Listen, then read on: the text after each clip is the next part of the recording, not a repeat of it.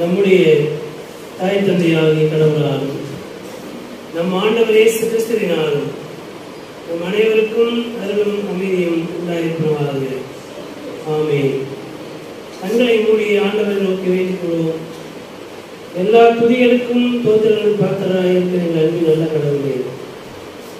இந்த மன மகிழ்ச்சியான ஞாயிற்றுக்கிழமை காலங்களிலே உம்முடைய ஆலயத்தில் நாங்கள் ஒன்று கூடி உன்னை தொழுது கொள்ள.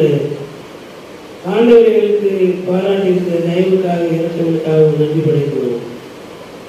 இந்த கிறிஸ்து காலங்கள் அனைத்து மக்களுக்கும் அனைத்து மக்களுக்கும் இது மகிழ்ச்சி நிறைந்த காலங்களாக இருக்கும்படிக்கு ஆண்டவருடைய வார்த்தையின் வழியாக எங்களை ஆற்றப்படுத்துகிறார்கள்.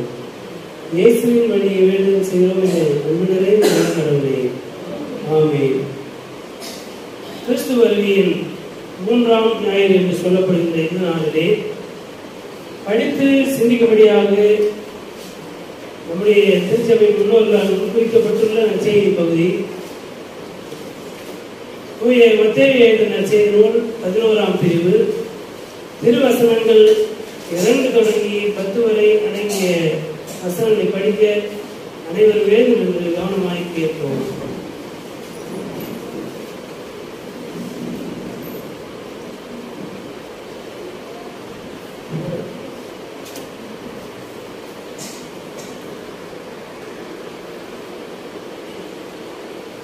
மத்திய நற்செய்தி நூல் பதினோராம் பிரிவு திருவசனங்கள் இரண்டு தொடங்கி யோவான் சிறையில் இருந்தபோது மெசியாவின் செயல்களை பற்றி கேள்வியுற்று தம் சீடர்களை அவரிடம் அனுப்பினார் அவர்கள் மூலமாக வரவிருப்பவர் நீர்தாமா அல்லது வேறு ஒருவரை எதிர்பார்க்க வேண்டுமா என்று கேட்டார் அதற்கு இயேசு மறுமொழியாக நீங்கள் கேட்பவற்றையும் காண்பவற்றையும் யோவானிடம் போய் அறிவியுங்கள் பார்வையற்றோர் பார்வை பெறுகின்றனர் கால் ஊனமுற்றோர் நடக்கின்றனர் தொழுநோயாளர் நலமடைகின்றனர் காது கேளாதோர் கேட்கின்றனர் இறந்தோர் உயிர் பெற்று எழுகின்றனர் ஏழைகளுக்கு நற்செய்தி அறிவிக்கப்படுகிறது என்னை தயக்கம் இன்றி ஏற்றுக்கொள்வோர் பெயர் பெற்றோர் என்றார் அவர்கள் திரும்பி சென்றபோது இயேசு மக்கள் கூட்டத்திடம் யோவானை பற்றி பேசத் தொடங்கினார் நீங்கள் எதை பார்க்க பாலை நிலத்திற்கு போனீர்கள்? காற்றில் அசையும் நாணலையா? இல்லையே யாரை பார்க்க போனீர்கள்? மெல்லிய ஆடை அணிந்த ஒரு மனிதரையா? இதோ மெல்லிய ஆடை அணிந்தோர் அரச மாளிகையில் இருக்கின்றனர். பின்னர் யாரைத்தான் பார்க்க போனீர்கள்? இறைவாக்கினரையா? ஆம் இறைவாக்கினரை விட மேலானவரே என நான் உங்களுக்கு சொல்லுகிறேன். இதோ நான் என் தூதனை உமக்கு முன் அனுப்புகிறேன். அவர் உமக்கு முன் உமது வழியை ஆயத்தம் செய்வார் என்று இவரை பற்றி தான் மறைநூலில் எழுதியுள்ளது என்றார் என்பவர்களே. வேதத்துக்காக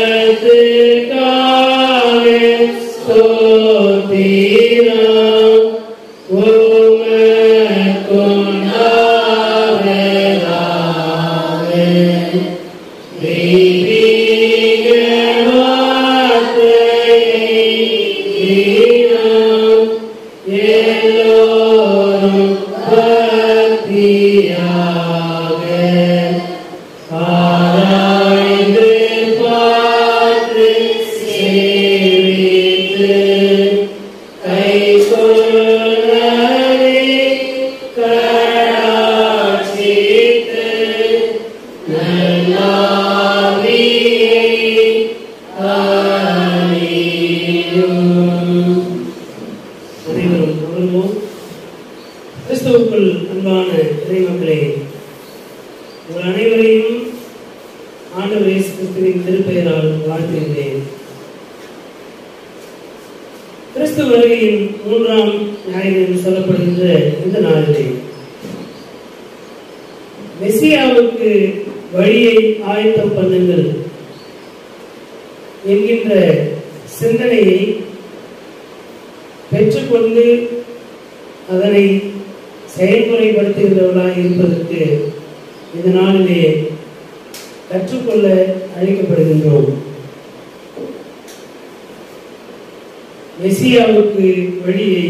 ஆயத்தம் பண்ணுங்கள் ஒரு குழந்தை பிறப்பதற்கு முன்பாக ஒரு குழந்தை பிறக்கப் போகிறது என்று வருகின்ற போது ஒரு தாய் கருவுற்றிருக்கிறார் முதல் மாதம் தெரியாது இரண்டாம் மாதம் வருகின்ற போது ஃபர்ஸ்ட் டெஸ்ட்டுக்கு போகிறோம் அப்பொழுது கரு உருவாகி இருக்கிறதா அது கர்ப்பம் தானா அல்லது உடல் பலவீனமா என்பதை மாத்திரம்தான் கண்டுபிடித்து சொல்லுவாங்க முதல் மாதம் தள்ளி போகிறது. எனவே இது கருவுறுதலுக்கான அடையாளமா? அல்லது உடலிலே ஏதாவது கோளாறா? என்பதை தெரிந்து கொள்வதற்கு அது முதல் டெஸ்ட் அதன் பிறகு மூன்று மாதம் நான்கு மாதம் செல்லுகின்ற போது குழந்தை இருக்கிறது அது எந்த நிலையில் இருக்கிறது என்பதை பார்க்கிறோம். அப்புறம் சில மாதங்கள் ஆகிற போது அந்த குழந்தை எல்லா விதத்திலும் சமச்சீர் அளவிலே ப்ராப்போர்ஷனேட் குரோத் எல்லா உறுப்புகளும் அதனுடைய அளவோடு முறைப்படியாக வளர்கிறதா என்பதை பார்த்து சொல்வார்கள். ஏழு மாதங்கள் தாண்டுகின்ற போது அந்த குழந்தை எப்படி அசைகிறது? குழந்தை எந்த நிலையிலே இருக்கிறது என்பதை சொல்லுவார். எட்டு மாதம் தாண்டி சென்றுவிட்டால் பிரசவிப்பதற்கான ஆயத்த பணிகளை செய்வோம். என்னெல்லாம் செய்வோம்? எந்த டாக்டர் போய் பிரசவம் பார்க்குறது எந்த ஹாஸ்பிட்டல் போகிறது? நம்ம போகின்ற அந்த மருத்துவமனையிலே பிரசவம் பார்க்க போகிற மருத்துவர் அல்லது அங்கே இருக்கிற செவிலியர் மீது நமக்கு ஒரு நம்பிக்கை வர வேண்டும். அதுக்கு தான் முதல் மாதத்துலேருந்தே என்ன பண்ணுறது ஒரே டாக்டர் போய் பாருங்க அப்படின்னு சொல்கிறது அந்த மருத்துவரும் அந்த செவிலியர்களும் நம்மளை எப்படி ரிசீவ் பண்ணிக்கிறாங்க? அப்படின்றத வச்சு தான் இவங்க கிட்ட போய் பிரசவம் பார்த்தா நல்லபடியாக திரும்பி வரணுமா குழந்தை நல்லா பிறக்குமான்ற நம்பிக்கை வர வேண்டும் ஒரு personal relationship interpersonal relationship முதல்ல நமக்கு இருக்கணும். அது இருந்தால்தான் நம்பிக்கை வரும். நம்பிக்கை வந்த பிறகுதான் அவங்ககிட்ட போய் என்ன பண்ண முடியும்? பிரசவம் பார்க்க முடியும். பொருளாதாரத்தை பார்க்கும் குழந்தையை பிறந்த உடனே எந்த வீட்டில் இருக்கிறது அந்த குழந்தையை கிடத்தி வைப்பதற்கான தொட்டில் வாங்குவது அதற்கு துணிமணிகளை முன்கூட்டியே வாங்குவது. இப்படிப்பட்ட செயல்கள் எல்லாமே ஒரு குழந்தை பிறப்பதற்கான ஆயத்த பணிகள் அந்த ஆயத்த பணிகளிலே கடைசி வாரத்தில் முப்பத்தி முப்பத்தெட்டு வாரம் முப்பத்தி ஒன்பது வாரம் சொன்னோம் இல்லையா?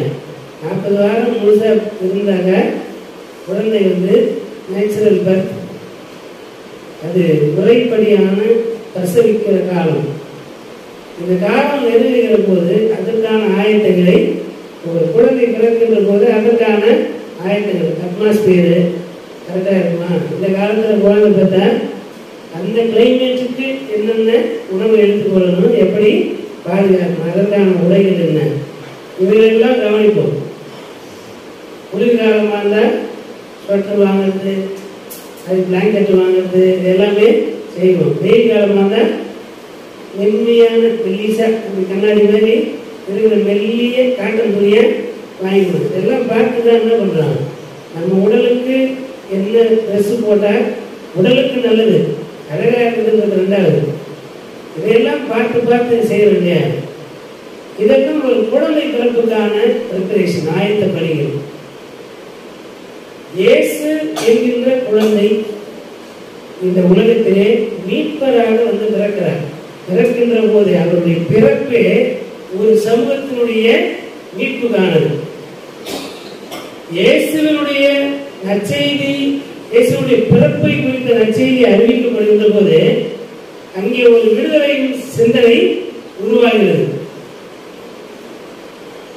ஒரு கண்ணியை கருவுற்று ஒரு குழந்தையை பெறுவார் என்று சொல்லுகின்ற போதே அவர் இந்த உலகத்தின் பாவங்களை போக்குவார் என்று சொல்லுகின்ற போதே அங்கேயே இந்த சமூகத்திற்கான விடுதலை வாக்குத்தத்தம் பண்ணப்படுகிறது. இந்த மீட்பர் வந்து பிறப்பதற்கு அவருக்கு முன்பாக ஒருவர் தோன்றி அவர் வந்து பிறந்து மெசியாவுக்கான வழிகளை ஆயத்தம் பண்ணுவார். சொல்லி இன்னொரு பிறப்பையும் வந்து பேரலெல்லாம் வந்து ஒரு நச்செய்தியாக அறிவிக்கப்பட்டிருக்கிறது. திருமுழுக்கு யோவான் இந்த உலகத்திலே வந்து பிறந்து மெசியாவுக்கு வழியை ஆயத்தம் பண்ணுவார். ஆண்டவர் இயேசு எத்தனை வயசுல வந்து ஊழியத்தை தொடங்கினார்? எத்தனை வயசுல? முப்பது வயதிலே திருமுழுக்கு பெற்றார். எத்தனை வயதில் அவருடைய ஊழியத்தை தொடங்கினார் அப்படின்னா திருமுழுக்கு பெற்றதுல இருந்தா நம்ம என்ன பண்றோம்? சொல்லி கொண்டிருக்கிறோம். அது பாரம்பரியமாக நாம் அப்படி கொண்டு வைத்திருக்கிறோம். இயேசுவனுடைய கற்பிக்கின்ற பணி எப்பவே ஆரம்பிச்சிச்சு பன்னெண்டு வயதிலே ஆரம்பித்து விட்டது. இப்போ அந்த முப்பது வயது வரையிலும் ஒரு மாபெரும் விடுதலை இயக்கத்தை உருவாக்கி அதை நடத்தி சமூக ரீதியான விடுதலை அரசியல் ரீதியான விடுதலை ஆன்மீக விடுதலை எல்லாவற்றையும் செய்வதற்கான ஒரு ஒருமித்த ஒரு விடுதலை இயக்கத்தை ஆண்டவர் உருவாக்கினார். அதை உருவாக்குவதற்காக குழந்தையிலிருந்தே தம்மை அதற்காக பக்குவப்படுத்தியிருந்தார் சில இயக்கங்களை சிலர் உருவாக்குவார்கள்.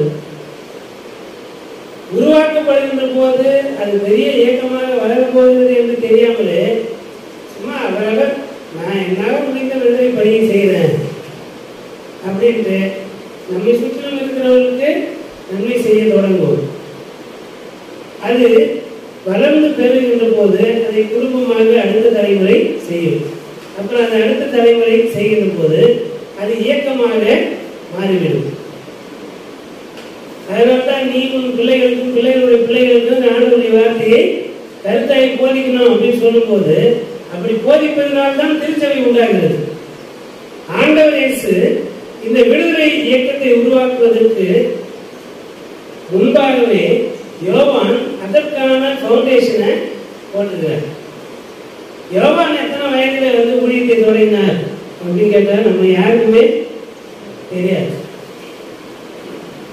யோவான் தன் சிறு வயது முதல் கொண்டே அவர் பாலை நிலங்களிலே போய் தங்கி அங்கே குகைகளிலும் பாறை இடுக்குகளிலும் அந்த பாலைவனத்தில் இருக்கின்ற இடங்களில் தங்கி அங்கிருக்கின்ற உணவுப் பொருட்களை நீ.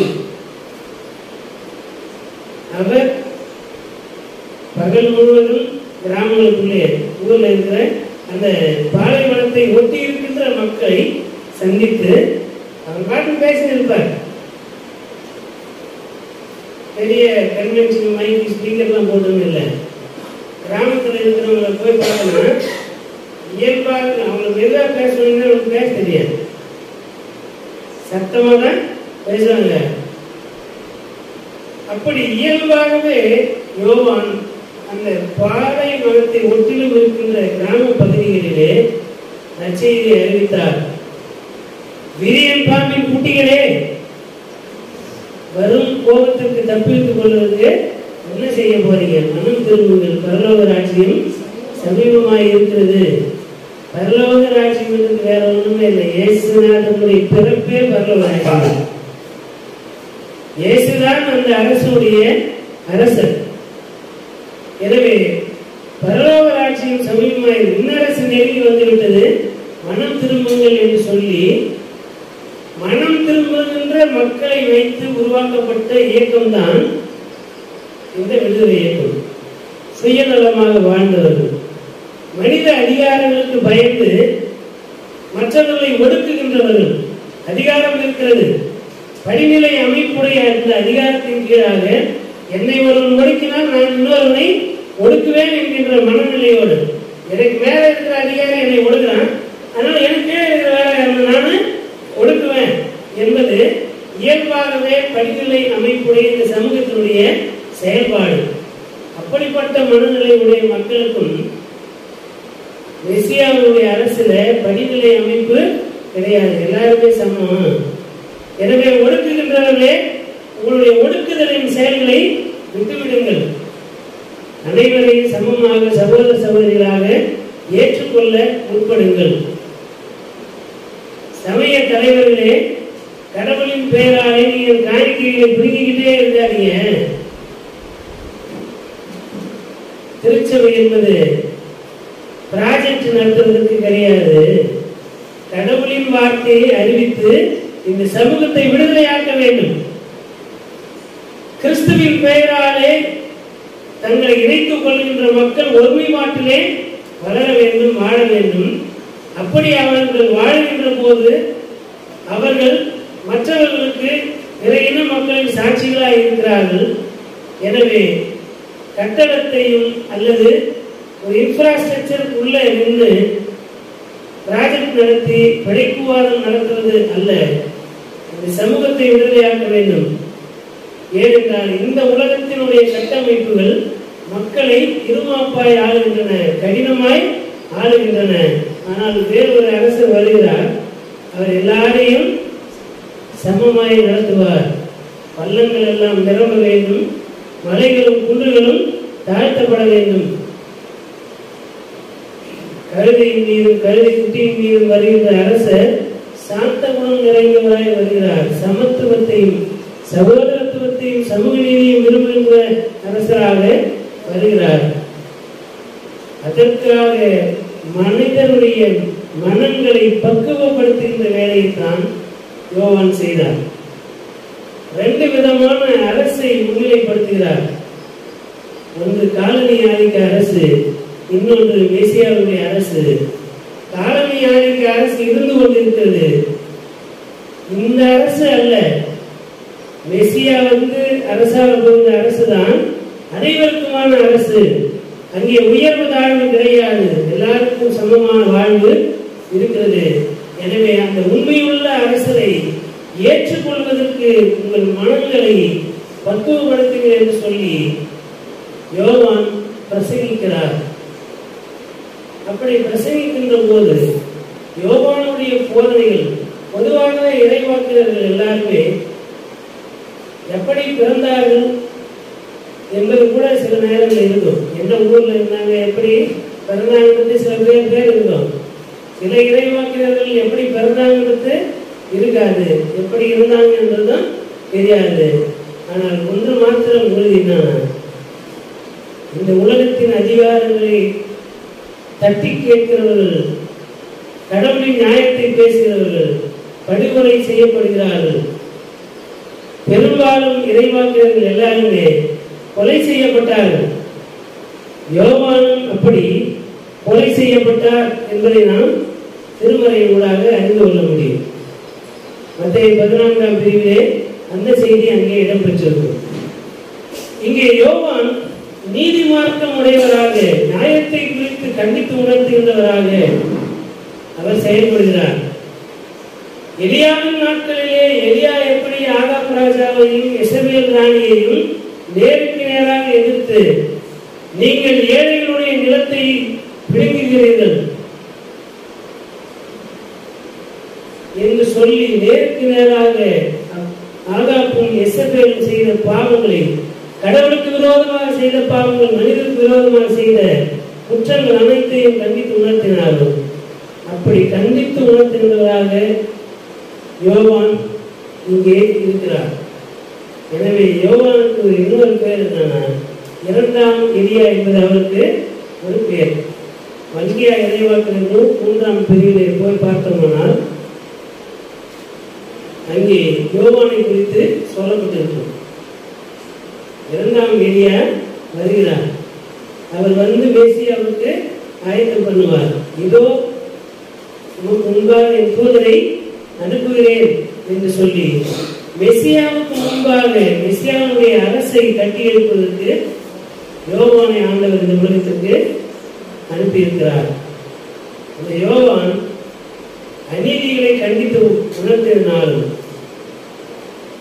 அரசு அதிகாரங்களை கேள்வி எழுப்பியதினாலும் சிறைப்படுத்தப்பட்டார். அரசன் தனி மனித வாழ்விலே அறநெறி ஒழுக்கமற்றவனாக இருந்தபோது அவனை கண்டித்தார்.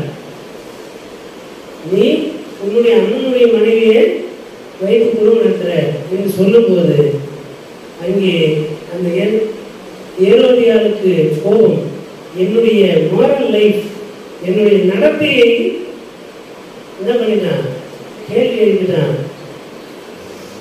என்று சொல்லி அவனை யோவானை கொலை செய்கிறார். கொலை செய்ய வேண்டும் என்று திட்டமிட்டு அதை அரங்கேற்றுகிறார்.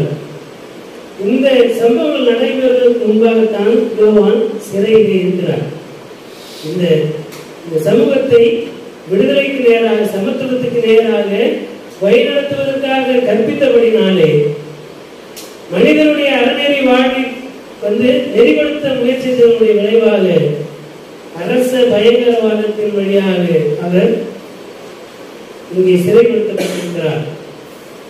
இவைகளெல்லாம் எப்போது சம்பவித்தன என்று பார்க்கும்போது மத்திய பத்தாம் பிரிவினை பார்த்தோமானால் ஆண்டவரேசு தம்முடைய சீடர்களை இரண்டு இரண்டு பேராக பிரித்து கிராமங்களுக்கு போய் ஊழியத்தை செய்யுங்கள் என்று சொல்லி அனுப்பிவிடுகிறார்.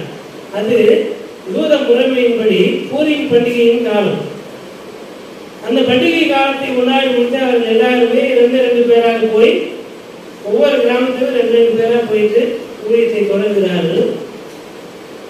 They have bylaws and standing rules அங்கே அவர்களுக்கு பைலா ஸ்டாண்டிங் ரூல்ஸ் எல்லாமே கற்பிக்கப்படுகிறது. நீங்கள் போய் எப்படி ஊழியம் செய்யணும் எந்தெந்த பிரச்சனை வந்தால் எப்படி எதிர்கொள்ள வேண்டும் என்பதை ஆண்டவர் எல்லாவற்றையும் கற்றுக் கொடுத்து அவர்களை அனுப்புகிறார் போய் ஒரு ஒரு மாதம் அளவும் போய் ஊழியத்தை செய்கிறார்கள். ஒரு மாத இடைவெளிக்கு பிறகு மீண்டுமாக அவர்கள் பாஸ்டா பண்டிகைக்காக இஸ்லேமுக்கு வருகிறார்கள். அப்படி வருகின்ற போதுதான் இந்த ஐந்தப்பம் ரெண்டு மீன் கொண்டு ஐயாயிரம் பேரை நிறைவு செய்கின்ற உணவளிக்கின்ற அந்த நிகழ்வு நடைபெறுகிறது. அது ஆறாம் பிரிவிலே.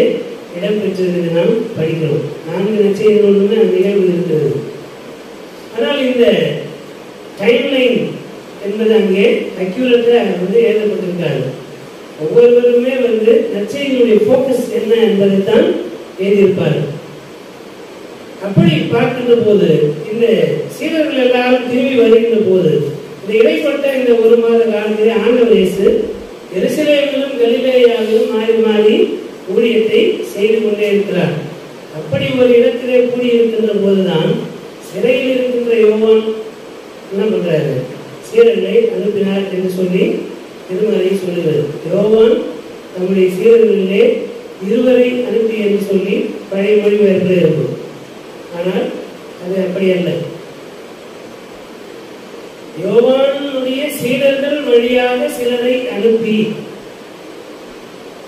வருகிறவர் நீர்தானா வேறொரு பெற காத்திருக்க வேண்டும் என்ற கேள்வியை ஆண்டவர் இயேசுவிடத்திலே வைக்கிறார்கள் இது நற்செய்தியாளர்கள் பதிவு செய்கின்ற போது அவர்களுக்குள்ளாக இருக்கின்ற குழப்பம். ஏன்னா வரலாற்றை எழுதுகின்ற போது ஒரு செய்தி எழுதுகின்ற போது அதுக்கு ஆத்தன்டிக் சோர்ஸை கொடுக்கணும். இல்லைன்னா கட்டுக்கதைகளை எழுதி வச்சுட்டாங்க நற்செய்தியாளர்கள் என்ன பண்ணுவாங்க? குற்றம் சொல்ல வேண்டியதாக இருக்கும் என்பதனாலே. அவர்கள் ஆராய்ந்து ஆராய்ந்து வெரிஃபை பண்ணி தான் எல்லாவற்றையும் எழுதுகிறார்கள். அது மொழிபெயர்க்கப்படுகின்ற போது எழுத்து பிழைகள் இது வந்து என்னது? பார்வை குறைபாடு இருக்கிற போது இது யுவா அல்லது வேற எழுத்தான்னு தெரியாமல் நம்ம எப்படி சில நேரத்தில் தாழ்மா இருக்கோம் அது போலதான் யூவோ என்கின்ற கிரேக்க சொல்லுக்கு ரெண்டு என்பது பொருள் டூயல் அப்படின்னு சொல்றோம் இல்லையா? டூயல்ன்றது ஆங்கில சொல். அதற்கான கிரேக்க சொல் யூவோ. அப்ப குரல் ரெண்டு. தியா என்பது மூலமாக த்ரூ என்பது அதனுடைய பொருள் இந்த கன்ஃபியூஷன்ல தான் அது இருக்கிறது. ரெண்டு பேர் அனுப்பினாரா? அல்லது சீரர்கள் மூலமாக சிலரை அனுப்பினாரா என்கிற கேள்வியை நாம் அதை புரிந்து கொள்ள வேண்டும். யோவான் தம்முடைய சீடரில் இரண்டு பேரை அனுப்பினார் என்பது ஏன் அப்படி சொல்லப்படுகிறதுன்னா ஆண்டலேசனுடைய முதல் சீடர்கள் யாரு? அந்திரேயாவும் அந்திரேயா பிலிப்பு யாக்கோபு யோவான் இவர்கள் எல்லாருக்கும் யாரு?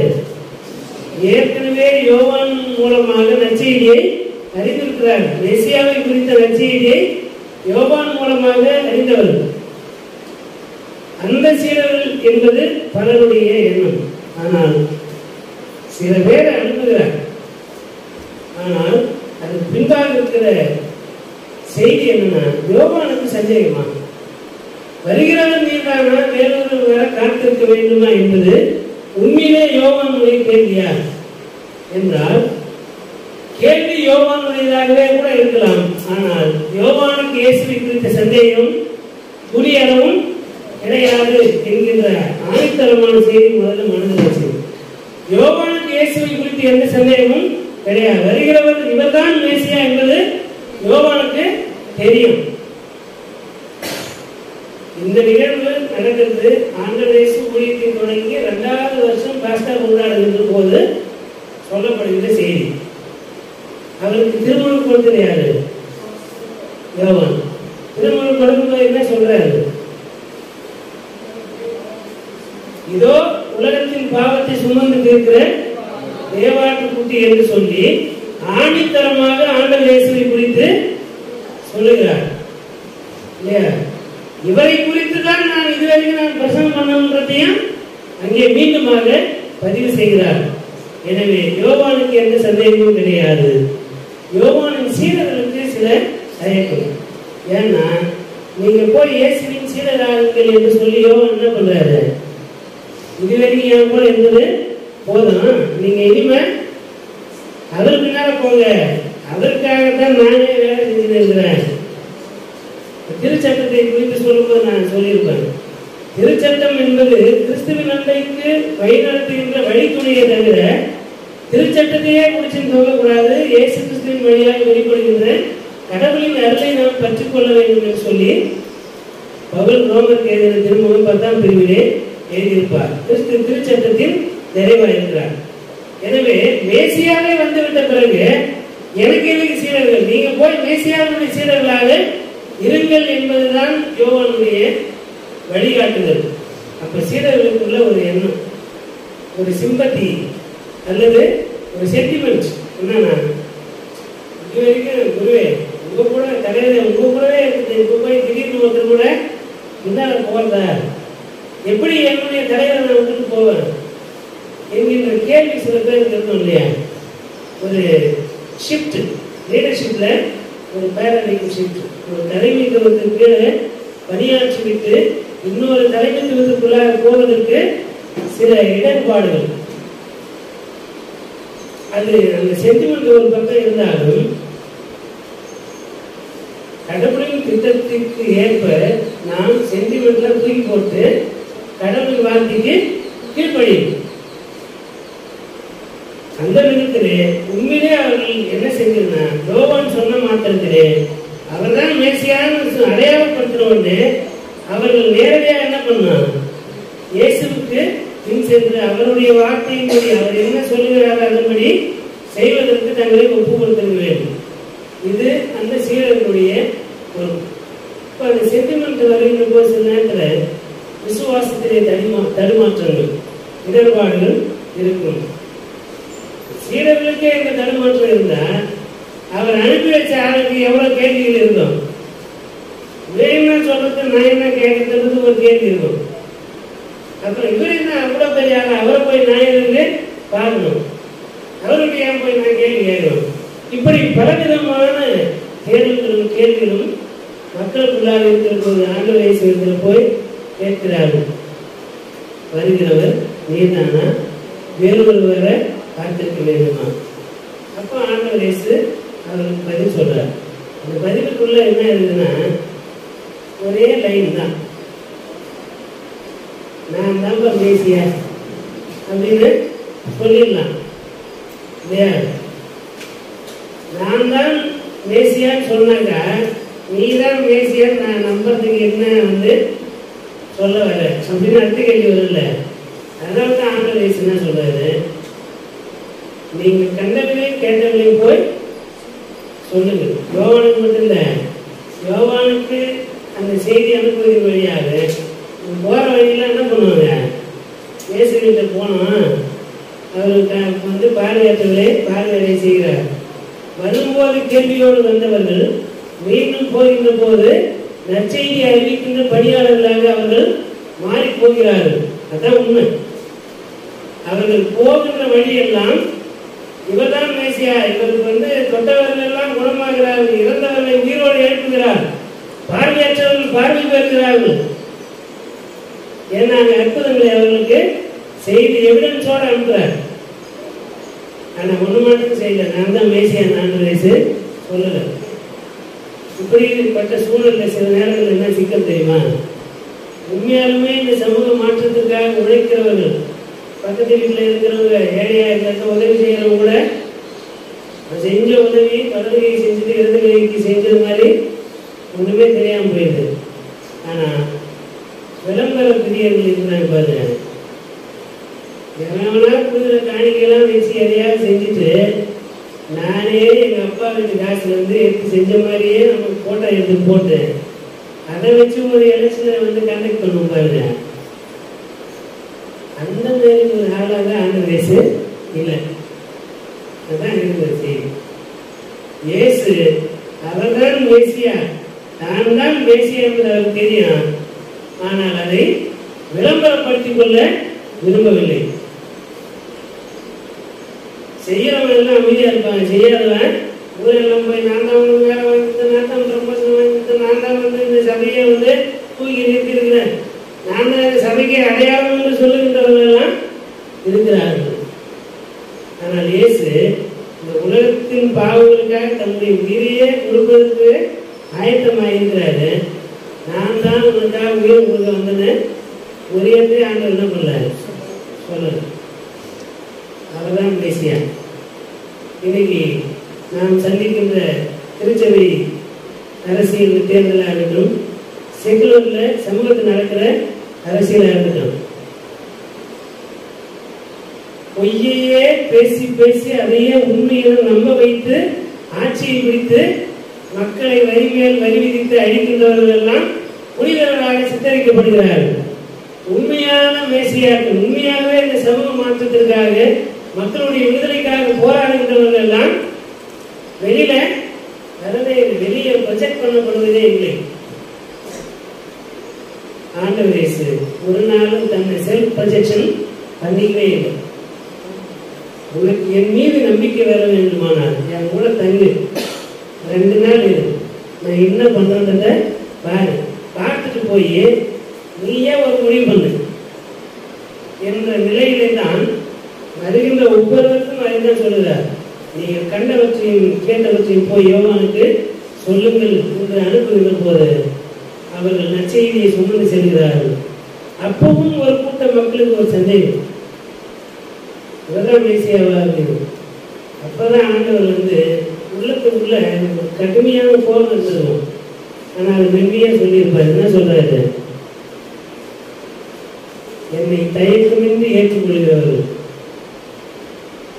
என்னை தயக்கமின்றி ஏற்றுக்கொள்கிறவர்கள் பாக்கியவான்கள் பேர் பெற்றவர்கள் சந்தேகப்படாம இவர் ஏற்றுக்கலாமா ஏற்றுக்கலாமா என்ற கேள்வியை கேட்டுக்கொண்டிராமல்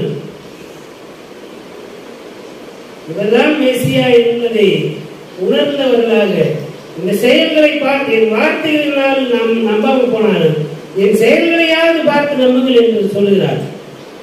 அப்ப அந்த செயல்களையாவது பார்த்து இதுதான் மெசியா என்பதை அவர்கள் அறிந்து கொண்டிருக்க வேண்டும். ஆனால் அவர்களுடைய செயல்கள் அவர்கள் கற்பனை செய்து வைத்திருந்த மெசியாவுடைய செயல்களாக இல்லை. அவங்க என்ன நினைக்கிறாங்கன்னா இந்த ரோம பேரரசனை அப்படியே கத்தி கேடையில் எடுத்து போயிட்டு குத்தி அழைச்சிட்டு என்ன பண்ணிருந்தான்?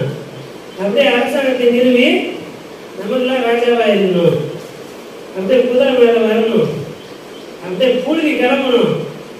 இல்லை ராஜா எல்லாரும் கண்டு நிறவணும் அப்படி வந்தாலும் அவர் தேசியான்னு இவர்கள் கற்பனை பண்ணி வச்சிருக்கிறாங்க. ஆனா வருகிறவர் என்ன பண்றாரு பார்வையற்றவங்களுக்கு கண்ணாடி வாங்கி கொடுக்குறது நடக்க முடியாதவங்களுக்கு ரோடு போட்டு கொடுக்குறது வண்டி வாங்கி கொடுக்குறது இந்த மாதிரி வேலையை செய்து கொண்டிருக்கிறார். பார்வையற்றவரை எல்லாருமே வந்து ரீஸ்டோர் லைஃப் வாழ்விழந்த மக்களை வாழ்விக்கின்றவராக இருக்கிறார் ஒடுக்குகின்றவர்களை போய் அவரை கண்டிக்கிறவராக அல்லது அவன் மீது கோபத்தை வெளிப்படுத்துகிறவராக இல்லாமல் பாதிக்கப்பட்டவர்களாக ஒடுக்கப்பட்டவர்களாக இருக்கின்ற மக்களிடத்தில் போய்? அவர்கள் மீது கரிசனை காட்டுகின்றவராக இருக்கிறார். அக்ரெசிவ் லீடர்ஷிப் அசெப்டிவ் லீடர்ஷிப் அவர்கள் எதிர்பார்க்கின்ற அரசர் மேசியா வந்து சண்டை போடுறவரா இருக்கணும். விரோதங்களை வந்து உண்டாக்கி அதில் என்னை உயர்ந்தவராக காண்பிக்கிறவரா இருக்கணும்னு நினைக்கிறாங்க. ஆனால் சமப்படுத்துகின்றவராக இருக்கிறார். பார்வை இருக்கிறவனை போய் கொண்டாடுவது அல்ல அதிகாரத்தில் இருப்பவரை கொண்டாடுவது அல்ல. அதிகாரமற்ற நிலையிலே ஒடுக்கப்படுகின்ற மக்களை ஆதரிக்கின்றவராக ஆற்றல் படுத்துகின்றவராக ஆண்டவர் இயேசு இருக்கின்றார். ஏரோதை போய் கடிந்து கொண்டு கடிந்து கொள்கிறவராக அல்ல. ஏரோதனுடைய காலனை ஆதிக்கத்தின் கீழ் அமைதியற்றவர்களாக இருக்கின்ற மக்களை கடவுளுடைய நிறைவான அமைதியை பெற்றுக் கொள்வதற்கு வழிநடத்துகின்றவராக ஆண்டவர் இயேசு இருக்கிறார்.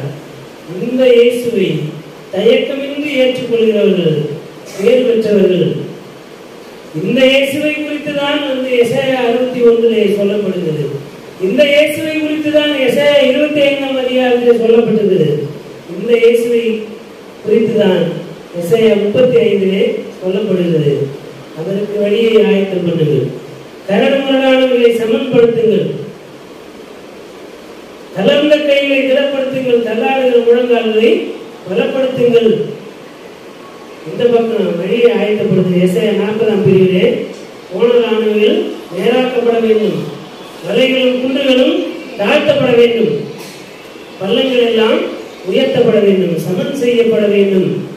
என்கின்ற சிந்தனையை ஆண்டவரை நடைமுறைப்படுத்துகிறவராக இருக்கிறார் என்பதை நீங்கள் பார்த்து விசுவாசியுங்கள் என்று சொல்லி ஆண்டவர் அவர்களுக்கு அழைப்பு விடுக்கிறார். அதை சொல்லி முடித்த பிறகுதான் யோவான் சந்தேகப்படலைன்றத ஆண்டவரே இயேசுவே இங்க என்ன பண்றாரு? ப்ரூவ் பண்றாரு. எப்படி? இப்ப யோவானை குறித்து ஆண்டவர் பேசுகிறார். ஆண்டவர் என்ன சொல்றாரு? நீங்கள் எதை பார்ப்பதற்கு பாலைவனத்திற்கு போனீங்க?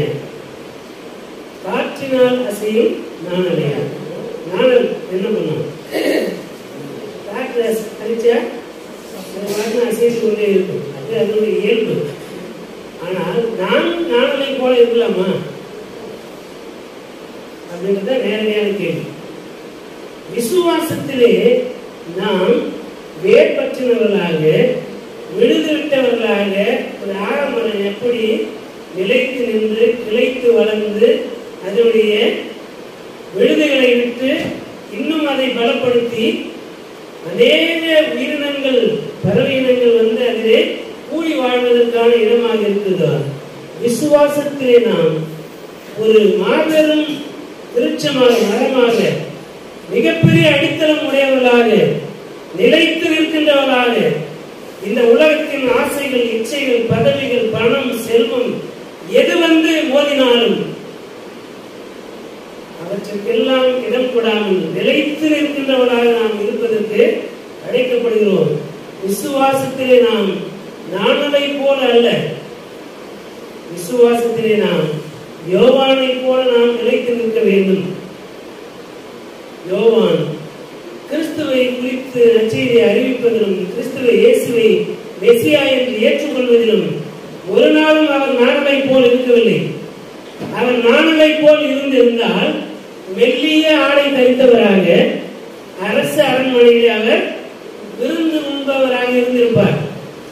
ஏரோதனுடைய அதிகாரத்திற்கு இணங்கி போய் வணைந்து கொடுத்து இருந்திருந்தால் அவர் ஏரோதின் மாளிகையிலே மெல்லிய வஸ்திரம் தரித்தவராக முழுசா போய்க்கிருந்தாலும் அளவுக்கு மரியாதை கிடையாது. டிரான்ஸ்பரண்டா ட்ரெஸ் போடுறதா? காஸ்ட்லியான ட்ரெஸ் அதை கீச்சு கீச்சு போட்டுருந்தா தான் விலை அதிகமாக இருக்கு துணியில அது மாதிரி உடலை மறைத்து அழகுபடுத்துவது இங்கே மதிப்பு இல்லை. டிரான்ஸ்பரண்டா இருக்குது. அந்த டிரான்ஸ்பரண்ட் வேற இந்த டிரான்ஸ்பரண்ட் வேற உடலை காட்டுவது இங்கே மெல்லிய ஆடை என்பது ரிச்னஸ் என்பதை வெளிப்படுத்துகிறது.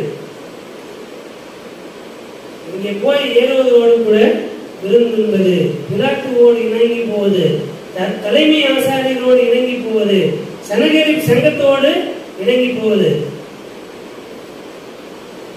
எனக்கு ஒரு வேலை வேணும் ப்ரமோஷன் வேணும்னா தலைமை ஆசாரியர் போயிட்டு மற்றவனுக்கு போட்டு கொடுத்து இந்த ஐயும் சரியில்லை இந்த ஐயும் சரியில்லை இந்த பீஸ் மெம்பர் சரியில்லை அப்படின்னு சொல்லிட்டு எனக்கு வேலையை ப்ரமோஷனும் வாங்கிட்டு வந்தது தான் யாரு?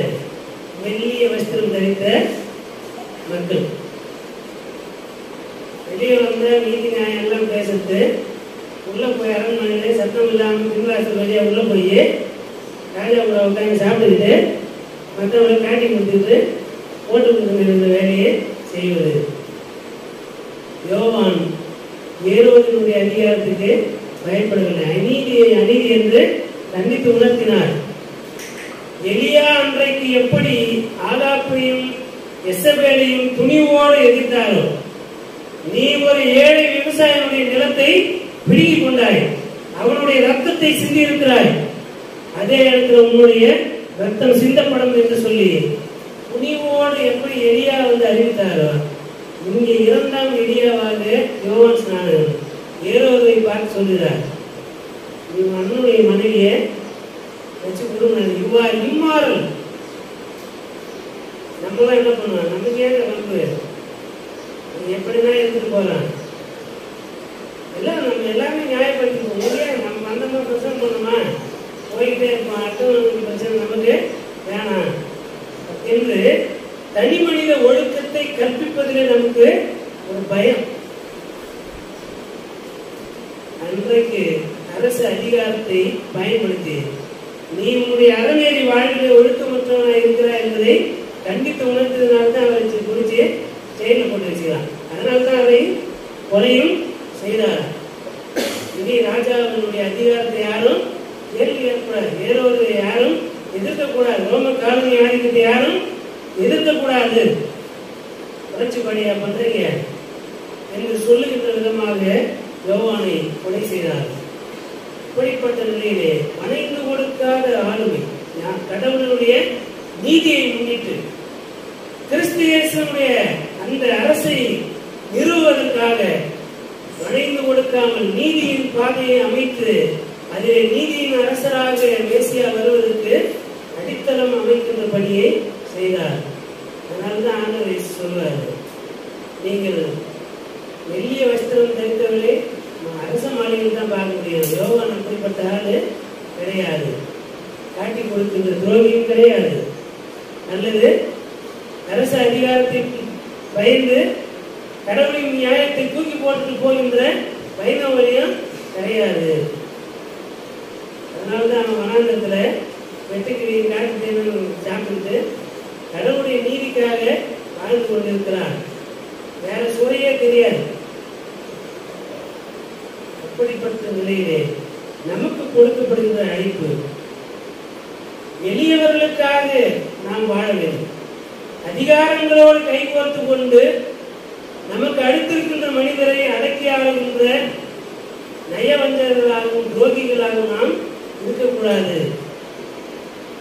நாம் யோவானை போல விசுவாசத்திலே வேறு கிறிஸ்துவுக்கு மெசியாவுக்கு உண்மையுள்ள சீடனாகவே தம்மை மாற்றிக்கொண்டார் எனக்கு பின்வந்தும் அவர் என்னை விடவும் பெரியவராக இருக்கிறார். அவருடைய விதியடியின் வாரை அவிழ்ப்பதற்கும் நான் பாத்திரவான் தகுந்தவன் அல்ல.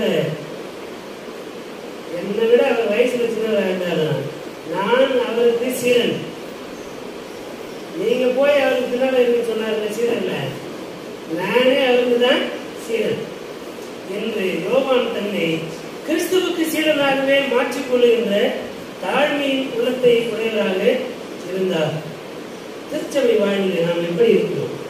நமக்கு கொடுக்கப்பட்டிருக்கிற வாய்ப்புகள் அதிகாரத்தை பயன்படுத்தி ஒருவேளை நாம் பல நேரங்களிலே அரசு விருந்துகளிலும் ஆசாரியர்கள் விருந்துகளிலும் தலைமை ஆசாரியர்களோடு இணைந்து கொண்டு அப்படியே மிடுக்காக வாழ்ந்து கொண்டு சுகபோகமாக வாழ நினைத்து எளியவர்களை குறித்து கரிசனையற்றவராக இருக்கிறோமா? மேடுகளை இன்னும் மேடுகளாக்குகிறோமா? அதிகாரத்தில் இருப்பவர்களை இன்னும் அதிகார குவிப்புக்கு வழிநடத்துகிறவர்களாக இருக்கிறோமா? அல்லது அதிகாரமற்ற நிலையில ஒடுக்கப்பட்டிருந்த மக்களை ஆற்றல் படுத்துகின்றவர்களாக நாம் இருக்கிறோமா? இந்த உலகத்தின் அதிகாரத்தினால் நீங்கள் ஒடுக்கப்படுகின்ற போது மெசியா வருவார் விடுதலை அளிப்பார். எனவே நம்பிக்கையோடு இருங்கள் என்று சொல்லி நம்பிக்கையின் செய்தியை அளிக்கின்ற மக்களாக நாம் இருக்கிறோமா? இந்த வார்த்தைகளின் வழியாக நமக்கான அழைப்பு எளியவர்களோடு நாம் அடையாளப்படுத்திக் கொள்வோம். மேசியாவை தயக்கமின்றி ஏற்றுக்கொள்வோம். ஆண்டவர் இயேசுவை நாம் தயக்கமின்றி ஏற்றுக்கொள்ள அழைக்கப்படுகிறோம். அவருடைய வார்த்தைகளை தயக்கமின்றி ஏற்று அதன்படி வாழ்வதற்கு நாம் அழைக்கப்படுகிறோம். அவருடைய வார்த்தைகள் நாம் நச்செய்தியாக அறிவிப்பதற்கு தயக்கமின்றி நாம் பணியாற்றுவதற்கு அழைக்கப்படுகிறோம். நாம் கிறிஸ்துவுக்கு உண்மையுள்ளவர்களாக கடவுளுக்கு உண்மையுள்ளவராக கடவுளின் வார்த்தைக்கு உண்மையுள்ளவர்களாக நேர்மையானவராக இருப்பதற்கு அழைக்கப்படுகிறோம். விசுவாசத்திலே குந்தி குந்தி நடக்கிறவர்களாக அல்ல இருமனம் உடையவர்களாக அல்ல நிலையாய் நின்று கிறிஸ்துவுக்கு சார்ந்து பகிர்ந்த பணியாளர்களாக இருப்ப இருக்க நாம் இந்த நாளிலே அழைக்கப்படுகிறோம். இந்த சிந்தனைகளை பெற்றுக்கொண்டவர்களாக நம்மை நாம் ஆன்மீகத்தில் ஒப்புக் கொடுப்போம் இந்த சிந்தனைகளோடு பயபக்தியோடு இந்த விசுவாசத்தின் உறுதி வார்த்தையோடு இந்த கிறிஸ்துமஸ் பண்டிகை நாம் கொண்டாடுவதற்கு நம்மை நாம் ஒப்புவிப்போம். கடவுள் நம்மை நம்மை ஆற்றப்படுத்தி வழிநடத்தி காப்பவராக ஆமே கண்களை முறையானவை நோக்கி வேண்டிக் கொள்வோம் எல்லா துதிகளுக்கும் பகுதியில் பார்த்தலாம் இருக்கிறேன் நன்றி நல்ல கடவுளே அனைத்து ஆசீர்வாதங்கள் ஊற்றாக இருக்கிறவர்களே நன்றியோடு துதிகளோடு தோத்தரிக்கிறோம் உம்முடைய இறையரசை கட்டி எழுப்பதற்கு யோவானின் மாதிரியை பின்பற்றியவர்களாக கிறிஸ்தவுக்கு உண்மையுள்ள சார்ந்தவர்களாக சாட்சிகளாக சீரர்களாக இருப்பதற்கு எங்களை நாங்கள் ஒப்புவித்து இறையரசின் பணியாளர்களாக இசியாவுக்கு வழியை ஆயத்தப்படுகின்ற கூறியிருக்கிறார்களாக நாங்கள் இருப்பதின் வழியாக. இறைவாக்கியர்கள் எல்லாரிலும் யோவான் பெரியவராக இருக்கிறார். என் வார்த்தைகளின் வழி செய்கிறவர்கள் யோவானிலும் பெரியவராக இருப்பான் பரவ ராஜ்யத்திலே. பெரியவனா இருப்பான் என்று சொல்லுகின்ற வாக்குத்தத்தை நீங்கள் தந்திருக்கிறீர் சுவாமி. உமக்காக ஒரு விடுதலையின் பணியை நான் செய்து இந்த உலகத்திலே ஆண்டவரே மெஸ்ஸியாவுடைய அரசு அமைவதற்கு வழியை ஆயத்தப்படுகின்ற பணியாளர்களாக நாம் இருப்பதற்கு இந்த நாளிலே மீண்டுமாக ஒரு விஷயம் கூட நாங்கள் எங்களை ஒப்புவிக்கிறோம். எங்களுடைய விசுவாச குறைவுகளை அகற்றி எங்களை நீர் மறுசீரமைப்பு செய்வீராக நாங்கள். மீட்டுருவாக்கத்தின் ஆண்டவராய் இருக்கிறேன்.